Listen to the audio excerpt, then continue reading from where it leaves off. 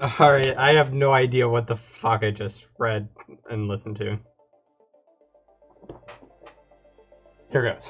Hello there, my name is Samuel Henthorn. You still probably don't know me. Whatever. And Humble Bundle is doing a thing right now. Oh, at time of recording, I'm not sure if I'm gonna end up posting this while it's still going on. So there is where do I even start with this? I'm gonna have to edit out a lot of awkward pauses as I try to process what the fuck. There is an Amazon author. His name is Chuck Tingle, or at least his pseudonym anyway. And he writes erotic fiction. Actually, you know? Here. I'll read a couple of excerpts. Okay, so these are excerpts from his probably most famous book, which is the one I just started or finished reading, which is called Pounded in the Butt by My Own Butt. Not a joke, although it might be satire. Yeah, I'm gonna have to edit out a lot of awkward pauses as I try to find stuff. For the first time in a long time, I finally feel like I'm sitting across the table from someone who really gets me deep down at the core of my being. It's hard enough dating as a gay man in today's world of casual hookups and reckless flings. I'm looking for something more, and incredibly, I think I might have just found it. That's not to say that my feelings for my own living ass aren't sexual, far from it. The connection that I'm looking for is something that embodies every kind of attraction. That started out okay, like just your standard boilerplate erotica, possibly, or maybe even just romance. But that.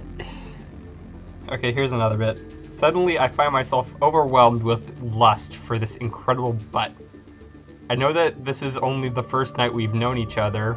Oh, there's a typo there. It's first night we know each other. I'm just gonna read it as it's meant to be read. But I also know that the feelings I have for this ass are not just some passing phase. This is as real as it gets, and if I don't say something now, I will regret it for the rest of my life. Is there anything else you wanted to experience? I asked Portok, which is the butt's name apparently. The living butt immediately picks up on the weight of my words, eyeing me suspiciously. Yeah, of course, he says. Anything that I can help you with? I question, continuing to lead him along. I can immediately tell that Portok understands what I am asking of him, reading between the lines with expert precision.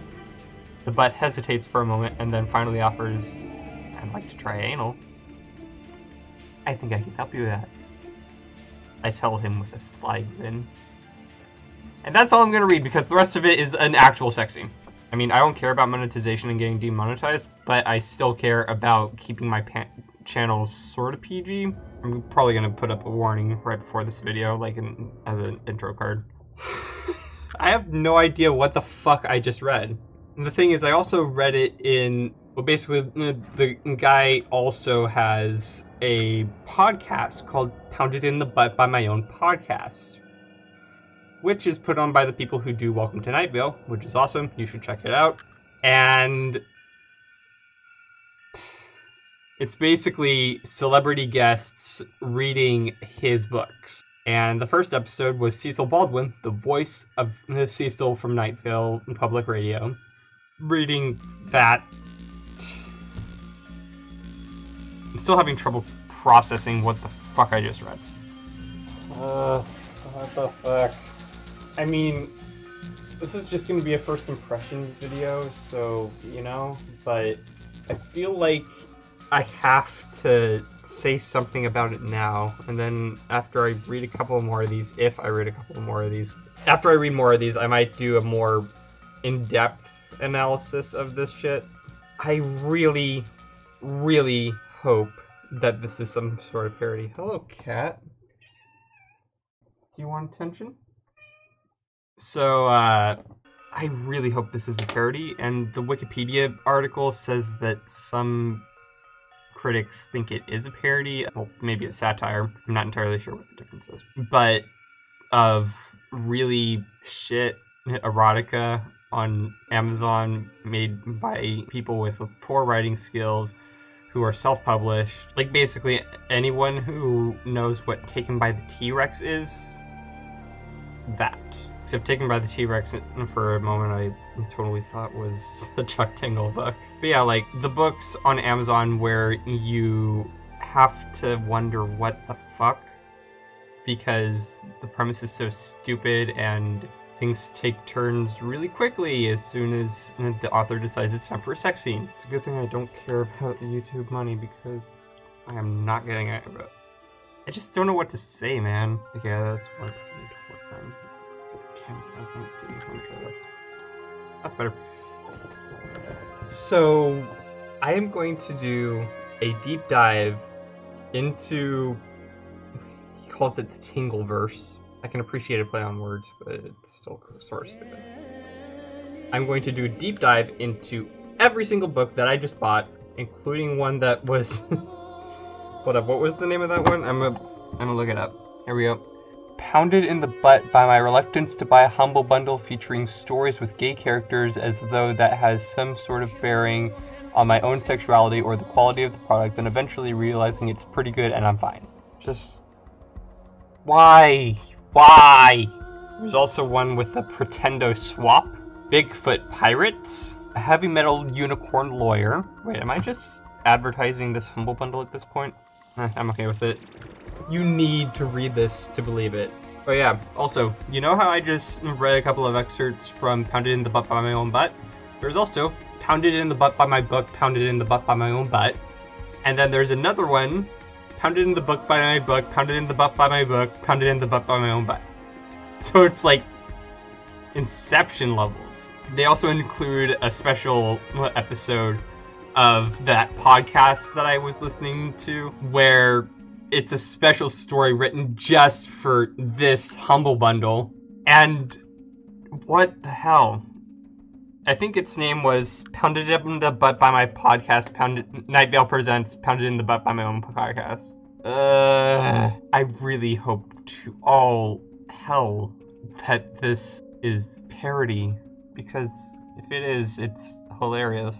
I'm gonna have to sort through 15 minutes of me just jaw agape in what the hellness. Alright, well, I'm gonna do that deep dive and get back to you on that. I might do an update video on this later. Quick note I think I figured out a new upload schedule.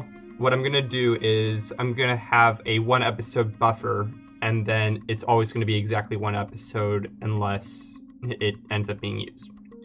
So, how that's gonna work is right now, I recorded the intro video either yesterday or the day before, and then I set it to upload on Monday, which as of this recording is tomorrow. But what I'm going to do now is I'm going to set that video to public right now. And then if I don't record a video between now and next Sunday, I'm going to upload this video next Sunday after I edit. And then if I do record something between now and then, I'm going to upload the video immediately after I finish the edit and then reset the clock. So let's say I get the next video recorded and edited on, let's say, Wednesday. Then I upload this video on that Wednesday. And then if I don't release another video, mm, or if I don't record another video, by the time the next Wednesday rolls around, I upload that video. That way I have a little bit of wiggle room and I can take a week off if I need to. Alright, I'm gonna shut up now.